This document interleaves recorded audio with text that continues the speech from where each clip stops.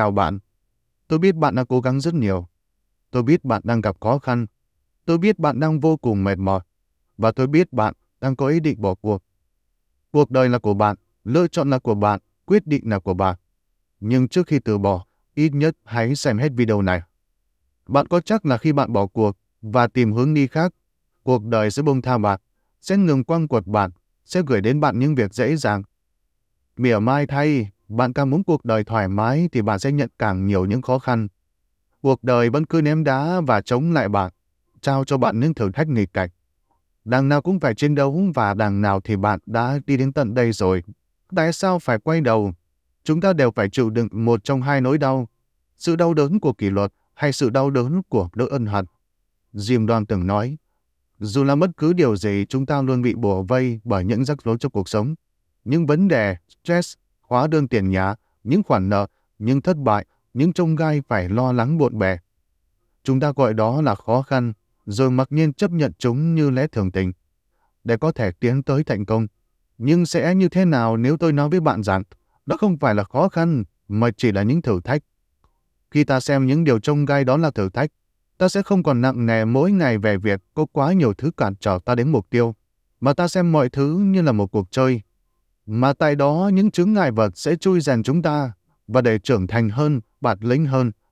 Khi ta xem đó là những thử thách, ta sẽ nhẹ lòng hơn và biết vượt qua thử thách khi ta sẽ tiến dần và tiến gần đến mục tiêu của mình. Người khác làm được thì mình cũng làm được, thậm chí là làm tốt hơn.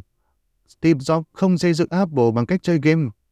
Usain Bolt không vô địch thế giới bằng cách ngủ thật nhiều. Tượng vàng Oscar không tự có chân để tìm đến Leonardo DiCaprio. Vẫn là câu nói kinh điển. No pain, no gain. Không có sự đau đớn thì sẽ không có thành quả. Cái mà bạn đang chịu được chính là nỗi đau để đổi lấy những gì bạn hằng mơ ước. Thật đáng tiếc khi có nhiều người bỏ cuộc trước giây phút quan trọng nhất. Người chiến thắng chưa chắc là người mạnh nhất, nhưng chắc chắn đó phải là người không bỏ cuộc. Hãy nhớ đến những hào hứng phấn khích khi bạn mới nảy sinh ra ý tưởng. Hãy nhớ đến những người vẫn luôn cổ vũ bạn. Hãy nhớ đến việc bạn đã từng khao khát thành công mãnh liệt như thế nào. Không có bất cứ sự thoải mái dễ dàng nào trên con đường đến thành công cả. Bạn có thể gào thét, bạn có thể khóc lóc, bạn có thể chửi rủa, nhưng tuyệt đối bạn không được bỏ cuộc. Không cho phép bản thân của mình lề nhác. Các bạn hãy nhớ, dù mình có nghèo hơn, xấu hơn, thì mình phải nỗ lực hơn. Không có cách nào khác cả. Không có phép nhiệm màu kỳ diệu nào ngoài sự nỗ lực của bản thân. Hãy cam kết và có trách nhiệm với cả bản thân. Dù bạn là ai, bạn cũng sẽ có những khó khăn của riêng mình. Điều quan trọng của bạn hãy coi đó là những thử thách mà ông trời dành riêng cho bạn. Thử thách đó, người không có mục tiêu thì sẽ có một cuộc sống vô định.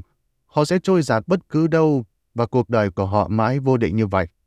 Bạn muốn cuộc đời của mình vô định hay cuộc đời là nằm trong tay của chính bạn?